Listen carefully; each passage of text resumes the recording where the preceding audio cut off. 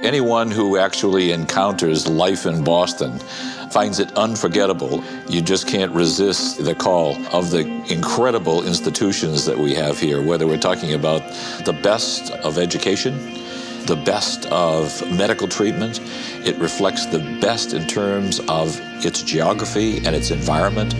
It's a remarkable city uh, which is full of vibrancy and life.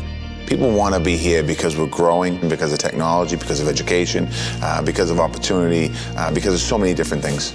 Boston is at a really interesting time right now. Uh, we have an incredible history, an incredible legacy, but at the same time, we're growing. And I believe that John Hancock plays a critical role in that, in being a leader in innovation while also paying tribute to its history.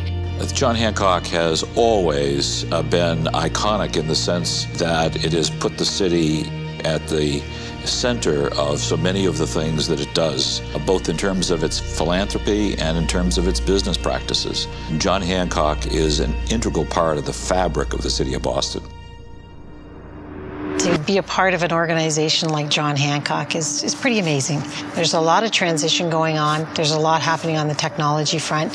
And because technology is changing so rapidly, I think there's huge opportunities for us to engage with our customers like we've never engaged before. We want to give them trust, we want to give them security, and we want to be that human interface to finance that so few people have today.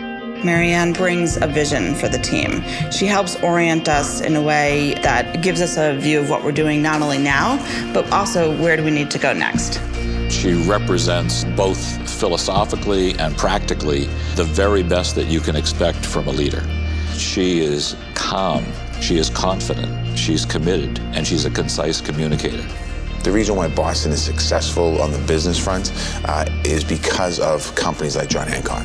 And to have a woman at the helm sends a very powerful message to the business community. You know, we've been around for many years, and, and I've been a, very much a part of this city and where it's been. But the city's changing, and there's lots of excitement around that change. And I think that it's important for us to play a, a leadership role in that change as we move forward. Our great hope in the future is to bring John Hancock to the next level in terms of its transformation, to continue to change the culture of John Hancock in a fashion that mirrors the kind of society that we all want and hope for.